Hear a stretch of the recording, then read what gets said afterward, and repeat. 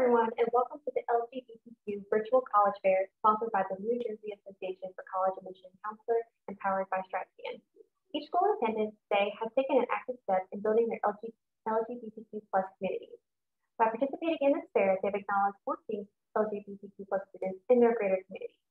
Additionally, we have utilized the Campus Pride Index to showcase an objective rating as per the policies of each institution fall in terms of LGBTQ plus friendliness. If a school participating today has a Campus Pride Index score, you can find the score listed next to their name at strivescan.com slash LGBTQ. The Pride Index is always a good place to start with your search, but it should not be the only place you look. Now, just a few housekeeping items before we get started. There is a Q&A button located at the bottom of your screen, which you can use to ask questions during the session at any time. Your camera and microphone are turned off so the panelists cannot see or hear you. And this is also just one of many sessions happening today. There is an additional hour after this, and we encourage you to sign up for more. And the presentation is also being recorded and will be available within about a week at the same site where you registered. Now, without further ado, I'll turn it over to our first college, which is Pennsylvania College of Technology.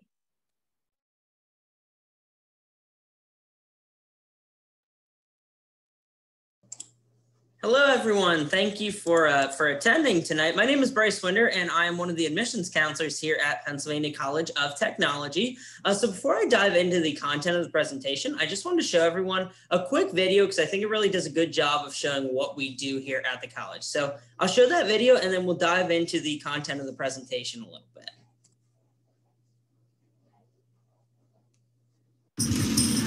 Any college can make you look good on paper. At Penn College, we're more into looking good on steel. And looking good on x-rays, with looking good in code. With extra miles taken on airstrips and suspension bridges. Building and rebuilding. Vision and revisions. With perfect stitches and smiles. With making something that already looks good look even better. We look amazing on a plate, even if it's only for a minute. And when it's time to rest, we'll build a robot who can look good for us. And when it's all said and done and made and seen, you'll look good to everyone. Because the past might be written on paper, but the future will be made by hand.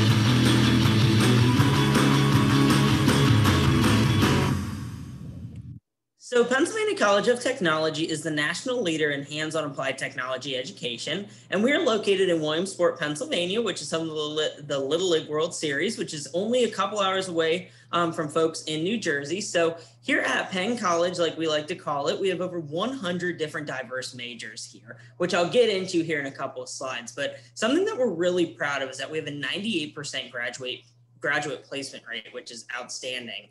Um, so like I said, we are hands-on college. So we do a lot of this education through our 150 plus learning labs here at the college. And then we do have an average class size of about 16 students. So our 100 majors, they're split into three different academic schools. So we have the College of Business Arts and Sciences. Uh, so some of the programs you'll find in there are baking, culinary, uh, graphic design, human services, and restorative justice, just to name a few. Next, we have our College of Engineering Technology. So this college has over 65 different programs located in it, and that ranges anywhere from architecture to automotive to construction to aviation, just to name a few.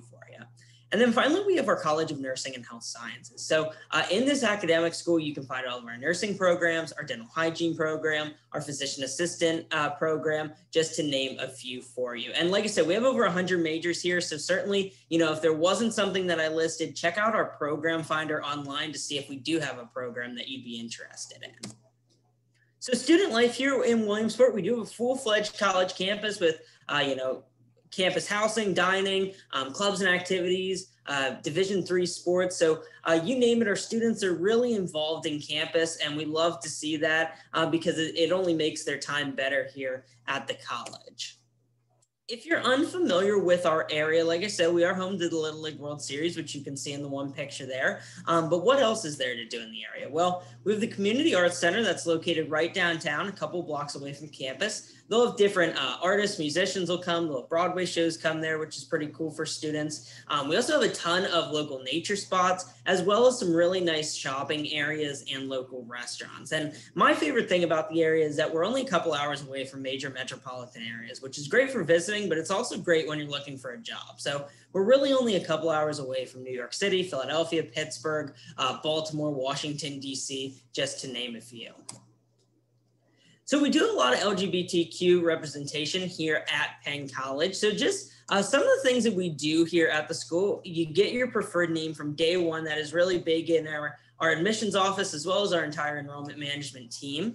Uh, we also have a club called PC Alliance uh, for our LGBTQ plus uh, students. Uh, we also have our annual Pride Week. And uh, just starting in this fall 2021 semester, we're going to have gender inclusive housing options as well as LGBTQ housing community. Um, and in, in, addition to that, you know, we also have our counseling services available uh, to students, as well as our employees get Safe Zone training every year as well. And one of the students I, I really wanted to highlight, uh, their name is Kaylin Marshall. Kaylin is a junior from Pottsville, Pennsylvania. Uh, they are in our Human Services and Restorative Justice program, and they are also part of the Student Government Association. Uh, they're a senator there, and they're also vice president of PC Alliance. And I just love their quote here that they love it at Penn College the relationships, the connections they've been uh, able to build. It's helping them graduate and, and really become a better person. And they said the most important thing they've learned while being a student in the LGBTQ plus community here is that they can be their authentic self. And that is really something that we love to hear our students talk about. So if you're interested, we do have a very simple three-step admissions process. We are open enrolling admissions. So if you're still interested for this fall, uh, you can apply. If you're interested in future semesters, our application for fall 2022 will open up in August. So you got some time for that. So you can just complete the application, submit your materials, and then meet the placement requirements. Uh, and lastly, we do have some visit opportunities as well. We're very fortunate to have very low case numbers here uh, in Williamsport and on campus. So we do have our self-scheduled personal tours, uh, as well as we have Saturday tours that will be starting here in late April. So you can check that out all on the pct.edu slash visit website. Um, and there you go. I gave you back a couple of seconds.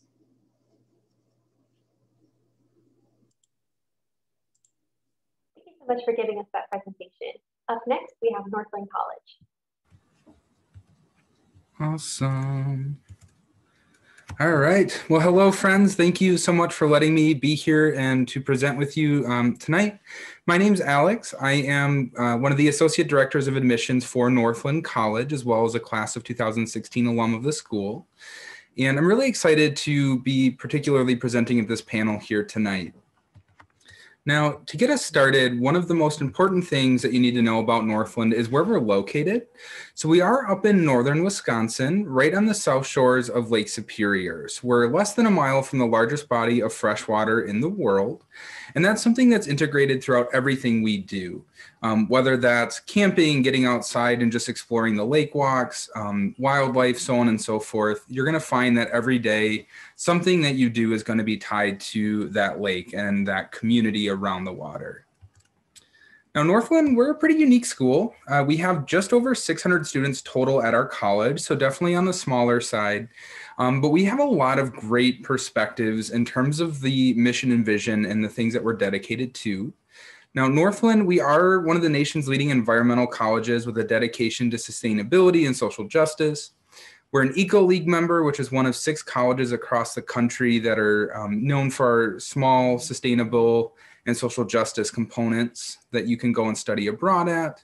We've completely divested from fossil fuels. We're one of Sierra Magazine's cool schools, a member of the Real Foods Challenge, as well as Wisconsin's first bee campus, which is something that I particularly love as well. So you see gardens with pollinators throughout our entire campus. Now we have over 40 different academic programs. So again, even though we have a smaller, you know, close-knit community in terms of our student size, there's a lot of different things that you have access to. And every single one of these programs is going to have components of environmentalism, sustainability, as well as social justice brought throughout your entire four years at the college. So whether you're studying something like business, sustainable community development, sociology, and social justice, you're still going to learn topics related to environmentalism. You're going to learn topics related to the indigenous cultures of the region. You're going to learn things about marketing and so on and so forth. And you're going to be tasked with thinking critically about the problems facing every single one of those fields as well. So again, something pretty special and unique um, with our school and the way that we connect to our mission and vision as a college. Now we are Division three for athletics, so if we have any student athletes, we do have you covered there as well. Um, about 38% of our student body right now are student athletes, and you can see that we have um, various opportunities for students interested in that type of opportunity, whether that's um, basketball or hockey, soccer, lacrosse, so on and so forth. Again, that's something that's going to be fun, not only as a student athlete, but if you're bored on that um, Saturday night, you can always go down and um, participate and kind of be in the audience supporting your fellow student athletes as well. Now, I think it's important. Obviously, we're all here to talk about the LGBTQ um, plus community, and there's a lot of different things that Northland has done to make sure that all of our students feel supported and included. Um, whether that's all gender restrooms in every single building on campus. We have a rainbow dinner every winter, which is a safe space where everybody can come and dine and be social together. Our alliance, um, we have a stone that's been outside of our oldest building for 130 years, and it's painted with the rainbow pride flag. We have a pride night with athletics, which talks about issues related to um, athletes and the LGBTQ plus community, our drag shows, and our Diversity and Inclusion Center, which regularly hosts events, outreach, and brings in guest speakers around um, topics that are important to the LGBTQ community, as well as educating others about the issues and real life challenges that many of us are facing. Now, our application is free. We don't require letters of recommendation. We don't require essays. We would just ask for a copy of your high school transcripts. Now, again, we recognize COVID has presented a lot of challenges. So if you're not able to take the SAT or ACT, that's not a problem. Um, but you are welcome to send those scores to us if you'd want. And it would take about two weeks or so for us to review that application um, and get you that admissions decision, in addition to the Common App, which we also accept as well. Finally, of course, cost is something that's on the mind of many students. Now, our cost of attendance is um, approximately $49,000 per year, but nobody pays that. Every student's guaranteed at least $19,000 for their academics in addition to other scholarships, with a goal of us getting to know each of you individually throughout that process. And then, of course, everybody um, that can um, is welcome to file the FAFSA for their free student financial aid. Um, finally, here you can see my contact information listed. You can always reach out to me, ask questions about our community and what it's like living in Ashland, um, as well as at Northland and what our school is about with that mission and vision and location. Otherwise, I appreciate you all letting me be here tonight, and I hope you all enjoy the rest of the presentation. Thank you so much for your presentation. As a reminder to our participants, if you do have questions for any of the institutions you're seeing today, definitely don't hesitate to drop those in the chat below. Up next, we have University of California, Irvine. Hi, everyone. Thank you for joining me. My name is Andrea. I use she and her pronouns. UCI is part of the University of California system, which is a phenomenal top research university um, in California. We are in a beautiful location halfway between LA and San Diego, about 10 minutes from the beach. We're also a top 10 public university according to US News. So we have a lot going for us in terms of our location um, and our uh, setting and our academics.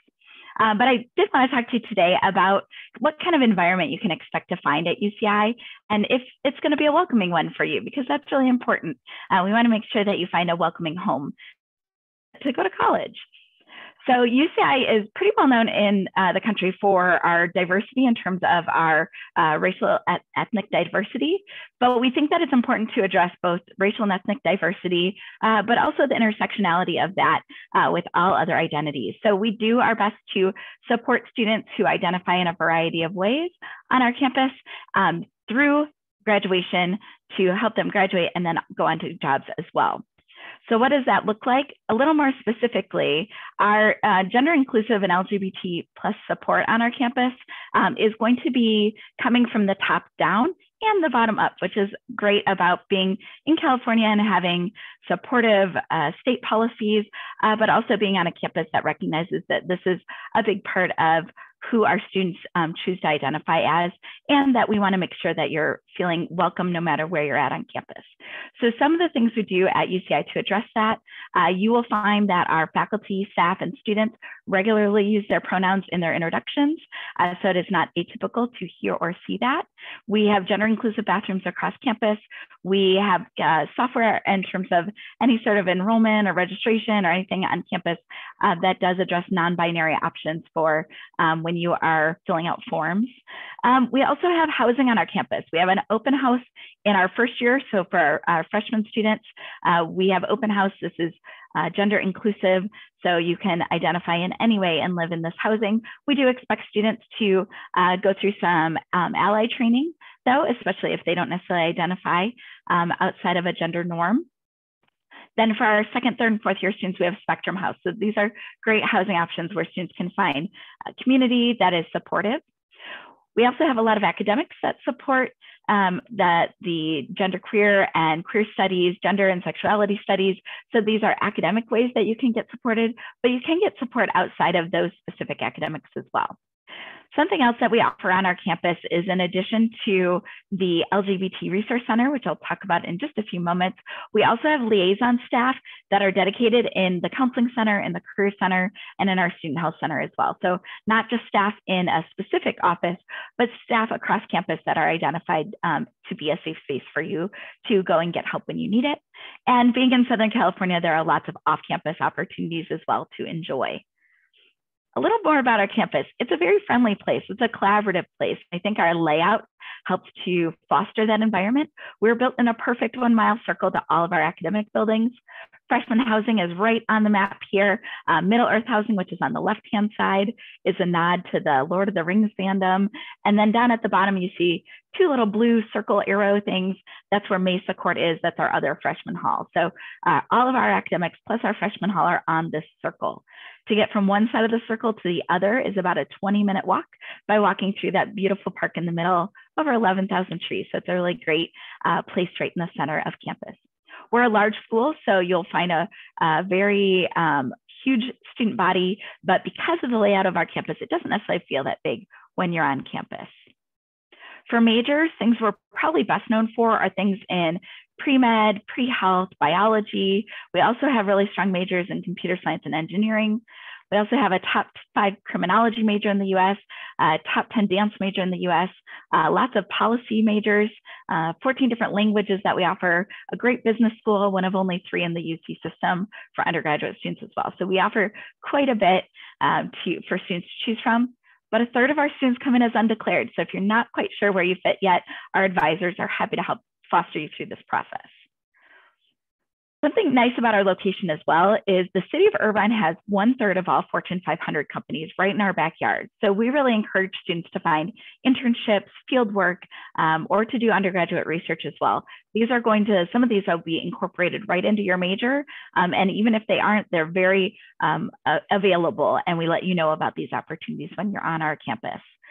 We also have really great study abroad and UCDC. Um, so this is studying in a different country on pause right now for COVID, um, or studying here in Washington, DC. The University of California system owns a building in Washington, DC.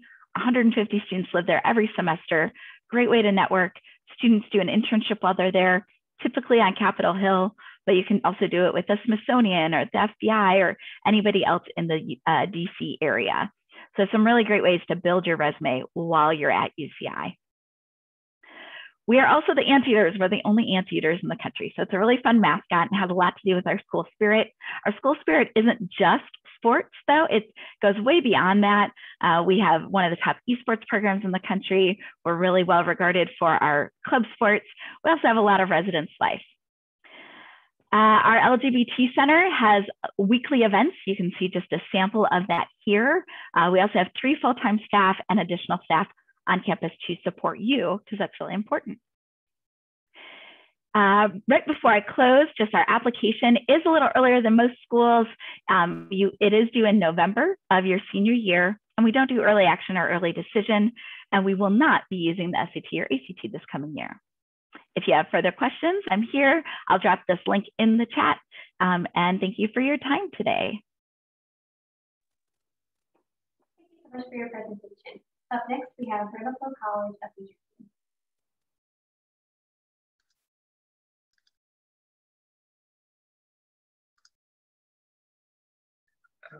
Okay. Hi, everybody. Thank you so much for, for being here. We are so happy to be here. Uh, my name is Jose Vallejo. I am an admissions counselor here at Ramapo College of New Jersey. Uh, a little bit about our institution. We are, uh, we are uh, the smallest four-year public college in New Jersey. We're really proud of this because our size allows us to really provide an environment for students to be recognized uh, and be part of our community. Uh, you know, right now we have, uh, we're about 30 miles away from New York City. So we're perfectly located, um, you know, with transportation easily uh, from campus to New York City's Times Square. So a lot of our students are taking advantage of this to do internships, to go to concerts, sporting events, uh, pride festivals throughout the city. So we have a ton of ways for students to really kind of make the region part of their, uh, if you will, educational lab. Um, our faculty are always here to teach and mentor. So a student faculty ratio of 16 to one uh, means that we don't have teaching assistants at all for any of our courses. Uh, and truly the teachers are here, our faculty are really here to mentor students. Uh, time and time again, we hear uh, stories from current students, graduating students that talk about um, the relationship that they've built with their faculty members. Myself as an alum of Ramapo College, I am still in contact with a lot of the faculty members that I worked with as a student. Um, which really kind of speaks to our overall hallmark uh, for our education uh, is that small classroom environment, direct contact with faculty members, and a welcoming uh, community to allow for you to explore not just academically, but also other things that you might be interested in. Uh, Ramapo College is a test optional institution, so we do not require SATs or ACTs for any of our undergraduate majors or our four plus one programs. Uh, we do require them for our joint programs in medicine and law, uh, but also we don't re require them for our scholarship opportunity. So that's a really big plus for Ramapo. Uh, admissions wise, we really wanna make sure that we are looking at all aspects of a student's application and really get to know our students who are applying to the institution. Um, you know, our model really works because our, if you look at our graduation rate, our retention rates, they're definitely a lot higher than the national averages. And even if you're looking at our graduation rates, uh, right now we are about 87% of our graduates that are fully employed or attending graduate school within one year of graduating from Ramapo. Um, we do have over 100 majors, minors, and concentrations. Concentrations are basically specializations within a larger program. So if you look at our communication arts program, we have five areas of concentration or specialization within the field of communications, which would be journalism, uh, visual communication design, uh, digital filmmaking, uh, media writing, and um, I'm forgetting what global communication and media. So each one of them will provide you a foundation in communication, but then really tailor the education in your second, third, and fourth year. Uh, I mentioned our four plus one programs. Uh, we do offer a number of them. These are programs where students can get not only a bachelor's degree, but a master's degree from Ramapo College, all in five years full time. Um, all of which are listed right here lots of our in, uh, of our majors do require students to complete some form of field work or internship before you can graduate, um, particularly in programs in our School of Humanities, uh, as well as in our School of uh, Social Sciences. You're going to see majors that are going to require students to do that. Academically, we also provide a, a diverse uh, array of programs that students can choose, including three majors that you can build yourself. Um, one of which, uh, our social science major, allows for you to tailor your education within the field of social science into a number of different programs, including a uh, gender and sexuality studies major. Uh, on uh, minors, we have a bunch of those, including our minor in women and gender studies, as well as uh, minors in languages. Uh, we offer about, I think, uh, seven different languages as minors that you can uh, pursue. Uh, so definitely a lot of great options there for students. the joint programs that I mentioned earlier that do require standardized test scores are listed right here on the screen. all of these do have test optional options. So if you are looking to go into medicine, but are not going to be doing an SAT or are, are not able to do an SAT, you can definitely major in our biology pre-med track, which is a test optional program and follows the same exact pattern as these that are tied to the different medical schools. Same thing with our law and society and political science program. They also have a pre-law option as well, and that does not require SAT scores. Uh, college, of course, isn't just about the academics. It's a big part of it, but there's also that other part, which is the fun part, right? So, uh, like many schools, we do have a study abroad uh, uh, program here at the college. Right now, we have about 500 plus programs in more uh, on six different continents. Our programs can run for as short as a week, like our trips to China and Peru, to uh, up to a full year overseas. So definitely a lot of options available. And these programs run throughout the calendar year. This year with the pandemic, we have put our study abroad programs on hold but we still do offer internship opportunities in about 45 countries. So some of our students who are doing uh, internships abroad are doing them remotely from home. So they're working with some of the major um, international corporations that we have partnerships with that allows for them to uh, really kind of have that experience. And of course, tons of activities, including our Pride Fest, um, our lavender, uh, our lavender graduation ceremonies are also available for students. Uh, application wise, our deadlines are listed right here. We do offer scholarship opportunities for uh, incoming students. Uh, there is a deadline for those of December 15th, and you can find all that information on our website. We are also doing on-campus visits and video tours. So if you go to those links right there, and I'll put those on the chat, uh, you'll be able to kind of, uh, if you're in the area, come by for a campus visit. It's a completely outdoor visit, or take, take a look at our video tours. So with that, thank you so much for having me here. Thank you for your presentation. As a final reminder to our participants, if you do have questions, simply don't hesitate to put those in the Q&A down below. Up next, we have University of Rochester. Hey folks, just one moment. Excellent. Hopefully you can see my screen. Um, hi everybody, my name is Erica Padilla. My pronouns are she, her, hers. Um, I wanted to take a quick second. I, I know we're in the middle of a presentation just to say I hope everybody's doing well because I know there's a lot happening all around us. Um, and I'm sending everybody lots of positive energy. Thank you so much for being here today. Um, so to kind of get us started, the University of Rochester is actually located in the city of Rochester on the ancestral lands of the Seneca people. Um, that's roughly about six hours north of New York City, about three hours south of Toronto, Canada, in an area of Western New York that's known as the Finger Lakes region. This is actually a picture of the campus, um, the river campus, known as the river campus because we're on the banks of the Genesee River. Um, and the river campus, I'd like to think of it as the heartbeat of the University of Rochester, in large part because it's the home to the College of Art Sciences and Engineering, which is all of our undergraduate programs combined, except for those that are offered by Eastman, which is our School of Music located in downtown Rochester. Um, and the River Campus also houses our graduate schools of engineering, business, education, several of which have partnered with our undergraduate college to offer direct admission uh, for graduate offerings. And then across the street, not in the picture, is actually our medical center, which is connected to our School of Medicine, which is also partnered with the undergraduate college for direct admission to our School of Medicine. Now on the River campus, we have about 5,500 undergraduate students, um, most of whom live on campus. About 90% of our students live on campus. Um, we're primarily a residential community and throughout campus, you do find all gender, all gender restrooms. Typically, when we do these visits in person at a college fair or when I get to meet you, hopefully soon in person, uh, one of the first questions I get from students is, how do you describe a Rochester student? the truth is that there is really no one way to describe a Rochester student, and that's because they come from all different walks of life and ethnicities, or socioeconomic backgrounds. Officially, the statistic is that 50% of our student, uh, most of our students are coming actually about from 140 countries are represented, about 50 states um, across the United States are represented. About a quarter of our students are identified as first in their families to go to college.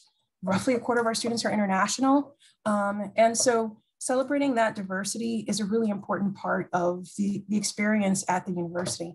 Um, the hub on campus uh, is actually at the U of R. Our intercultural center is actually the hub that promotes cultural awareness and engagement through throughout campus.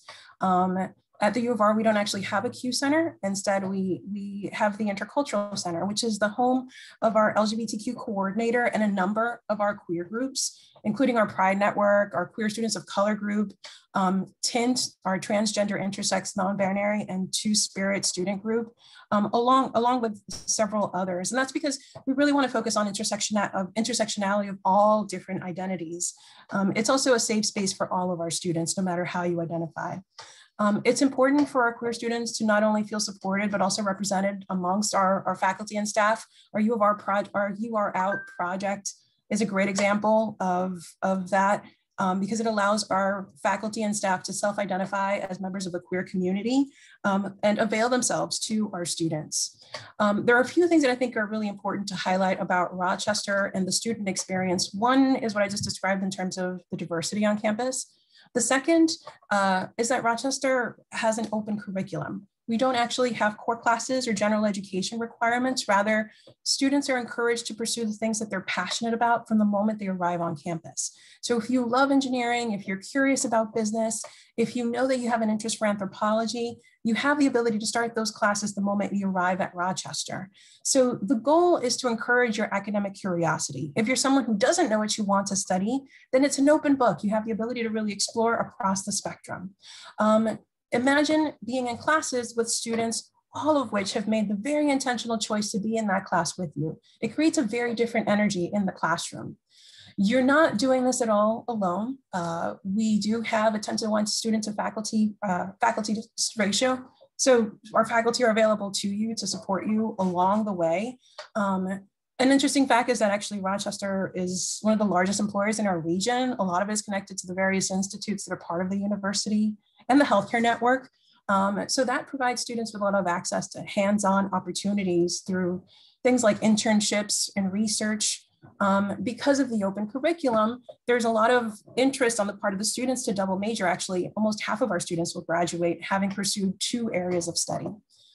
The third is that Rochester is a research institution. We're a tier one research university, um, but what's unique is that almost 80% of our undergraduate students will participate in research across all different areas of study, not just in the natural sciences, but also in humanities and the social sciences. Um, our students have the ability to be published through our undergraduate research journal and even pursue their own uh, Rochester Innovation Grant to fund their own original work. Rochester does um, exercise a holistic review process. Uh, so as part of our review process, we did go test optional last year and remain test optional. On your screen, you'll see all our different application cycles. Um, at the university, we're, we're, committed to meeting full need, and so um, all applicants are admitted to Rochester will have full demonstrated financial need met. I welcome your questions, and I encourage you to visit our virtual events for more information about the university. Thank you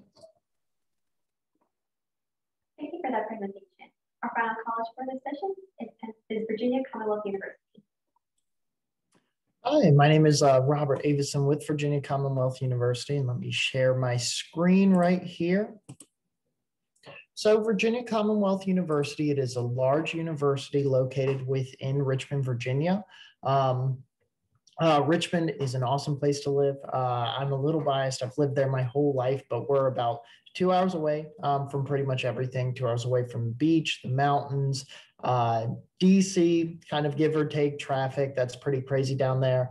Um, we are very outdoor friendly. We have over 550 acres of James River uh, Park um, system. Uh, Browns Island, Belle Isle are two places that are really within walking distance from campus where there's a lot of festivals, concerts, and then there's also hiking, outdoor activities, and nature to explore.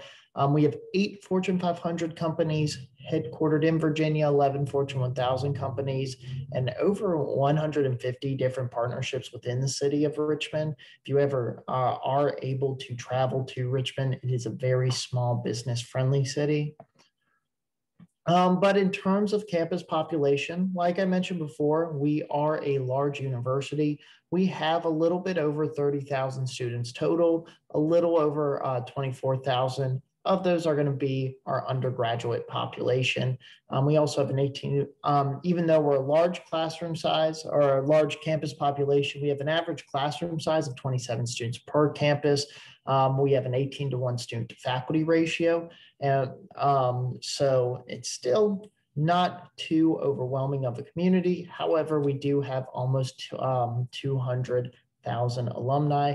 We also have plenty of involvement in resources here on campus, um, including I believe it's over 400 clubs, organizations, and just kind of departments, including our Office of Multicultural Student Affairs office, which will showcase the diversity on the community, including um, uh, that within the LGBTQ plus community. Um, there will be hosting trainings, uh, discussions, uh, and also we do provide uh, lavender housing uh, or our lavender house, uh, that is what it is called. Um, that is going to be um, primarily inclusive environment. It is a living learning community, so you'd be surrounded by students um, in the LGBTQ plus community as well, and just kind of a safe, affirming environment.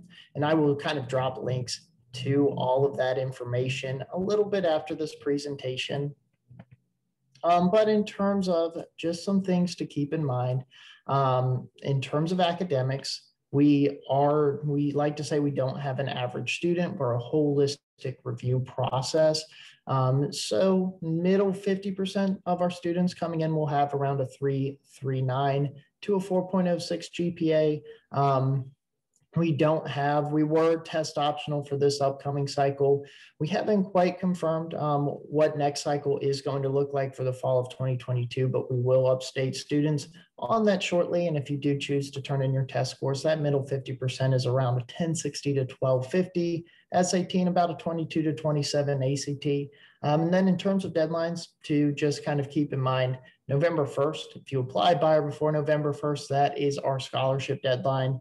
Um, and you will automatically be eligible for any of the merit-based scholarships that we do have to offer, as well as, um, however, if you apply by January 15th, um, we'll st- we will review your application and get a decision by or before April 1st. Um, that does not mean you have to wait until January, or that does not mean, say, if you're applying in October, you have to wait until April 1st.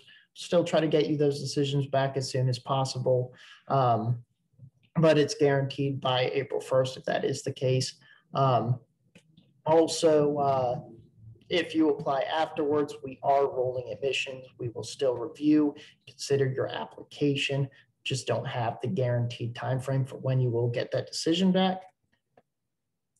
Um, so that is uh, kind of a little bit about uh, VCU in general. A couple of other really quick things I do want to mention. Um, the plan coming for next year, uh, starting out. Now, keep in mind, we are a large university. However, we do ho hope to start in person in the fall uh, next semester. That is, of course, with a lot of safety guidelines.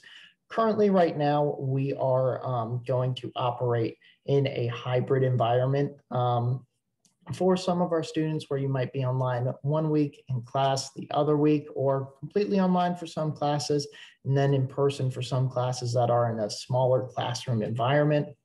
Um, also, in terms of athletics, we are Division One in our sports, including both our men's and women's basketball team that both actually made the tournament this year. So that is something that's super exciting. Um, but yeah, that is actually a little bit about the brief presentation. So I think I might have given you guys some minutes to spare here. Thank you everyone for your presentation.